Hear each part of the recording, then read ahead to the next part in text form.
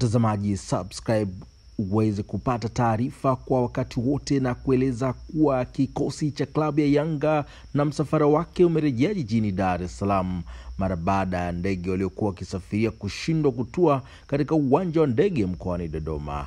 Msafara wa kikosi cha klabu hiyo ulikuwa umesafiri mchana wa hii leo Mei mosi kuelekea Singida kupitia Dodoma.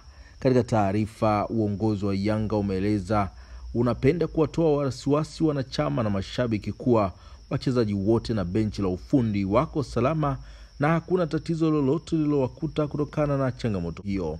Aidha, uongozi wa Yanga unaendelea na mipango ya haraka ya kuhakikisha timu inasafiri kuelekea mkoani Singida kwa ajili ya kucheza mchezo wa ligi kuu ya NBC dhidi ya Singida Big Stars utakaopigwa Mei 4 mwaka 2023 kwenye uwanja wa Lit.